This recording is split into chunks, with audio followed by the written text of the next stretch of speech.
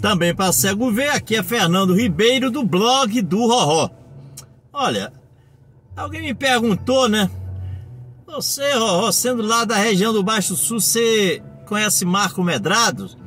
Eu disse, rapaz, conhecer, conhecer, eu acho que todos nós já ouvimos falar de Marcos Medrado.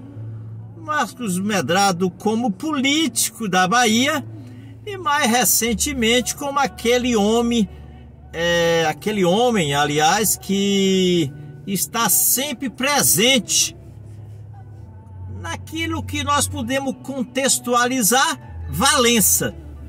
Valença e Baixo Sul, através é, das suas andanças ali e também através da mídia, né? Radiofônica, né? Que ele detém o poder da FM Valença.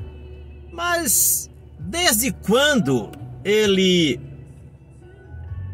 detém o poder daquela rádio, até hoje, ele nunca se afastou da vida né, diária de Valença e da região.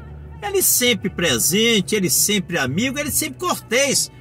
Ele sendo uma pessoa do social, político ou não tanto é que sempre procurou estar do lado daqueles que buscam a melhoria para Valença e região, não dando tanta sorte que sempre está tendo em alguns contratempos, tem sempre um rompimento por ele não concordar com a atitude de candidatos que ele apoiou.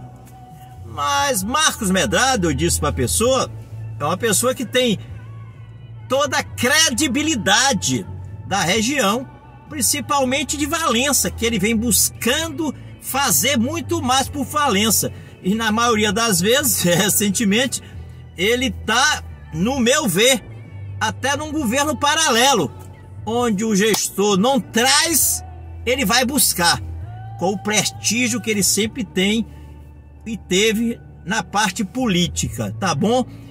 E os contra falando, eu trabalhando e Deus me abençoando. Tchau, tchau e beijo, beijo.